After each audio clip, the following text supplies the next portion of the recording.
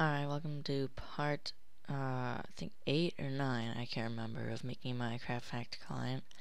And in this video we're going to make a Fullbright hack. Um, it's pretty easy, so yeah, let's get right to it. Let's make a new class in the mods package called Fullbright. And in here, let's have an extend module.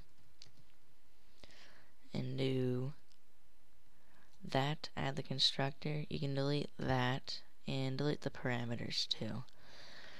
So let's have Fullbright as the name. Oh, you can call it brightness, it doesn't really matter. Um, keyboard dot key underscore C and category dot render. So let's do an on update. You can do on update and then control space enter to do that.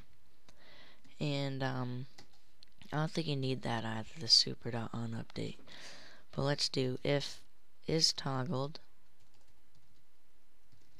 So if it is on, mc dot game settings dot gamma setting equals 100f.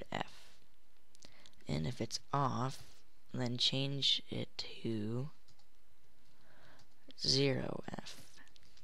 So if it's on, make it go really high. If it's off, make it low. it's pretty much what this is doing. So, I think all we need to do now is just go to the main class and add it.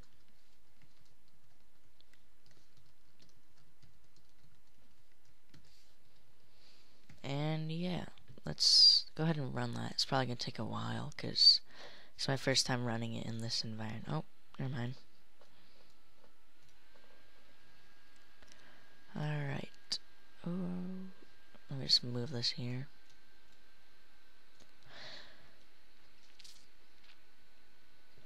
So, uh, do I have cheats? I don't even know how to make it um, nighttime, but I'll just dig a hole real quick. It looks like it works over there, but so here's it off and on. Oh, it works. Nice.